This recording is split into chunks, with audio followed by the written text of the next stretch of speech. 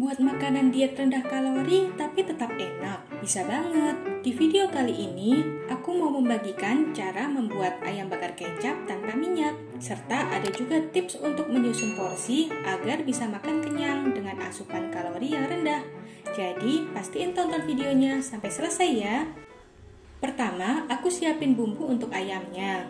Iris kepotongannya lebih kecil 3 siung bawang merah. Penggunaan bumbu alami yang pas membantu membuat menu diet menjadi lebih enak.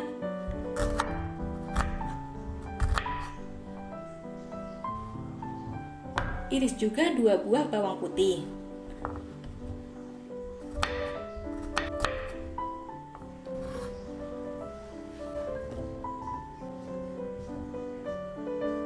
Kemudian, iris satu irisan jeruk nipis untuk dibalurkan ke ayam nanti. Untuk ayamnya, gunakan dada ayam yang sudah dihilangkan kulit dan lemaknya. Aku pakai 200 gram ayam dengan kisaran 390 kalori. Bisa dimakan untuk dua porsi. Potong ayam ke potongan yang lebih kecil, kira-kira sebesar ini, agar nanti lebih mudah matang saat dimasak. Kemudian beri perasan jeruk nipis. Remas-remas ayam agar bau amis berkurang, lalu sisihkan. Sekarang haluskan bumbunya. Kalian dapat menguleknya ataupun menghaluskannya dengan blender. Total kalori dari satu piring menu yang akan aku sajikan ini kurang dari 400 kalori, tetapi tetap mengenyangkan. Masukkan bumbu halus ke dalam ayam. Karena nanti ada pemberian kecap yang juga mengandung garam, penambahan garam pada ayam cukup sedikit saja, kira-kira sejumput. Lalu tambahkan seperempat sendok teh merica bubuk. Serta sejumput ketumbar bubuk.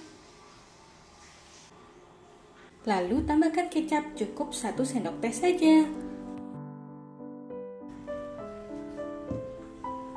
Campur seluruh bumbunya dengan meremas-remasnya seperti ini. Diamkan dulu kurang lebih 30 menit sampai bumbu meresap. Untuk alat memasak, panaskan dengan api kecil teflon anti lengket karena kita akan memasaknya tanpa minyak. Di sinilah salah satu kunci agar makanan kalian tetap rendah kalori, yaitu melewatkan penambahan minyak goreng. Saat memasak nanti, ayam akan mengeluarkan air. Tutup hingga airnya menyusut.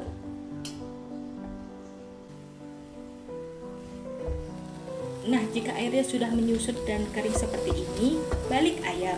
Kecap yang digunakan tadi akan menimbulkan efek karamel di teflon. Masak sebentar lagi, matikan kompor, lalu angkat. Aku udah siapin piring yang berisi 80 gram nasi putih, 60 gram buncis rebus, 60 gram kubis, dan sambal bawang tanpa minyak. Karena di video ini aku membuat untuk dua porsi, setelah matang, timbang ayam dan bagi menjadi dua bagian. Kira-kira per porsi diberi 75 gram ayam kecap. Seporsi ini beneran kurang dari 400 kalori loh, tapi tetap bikin kenyang deh. Ini dia inspirasi menu makan rendah kalori dengan ayam bakar kecap ala kakak Nurun.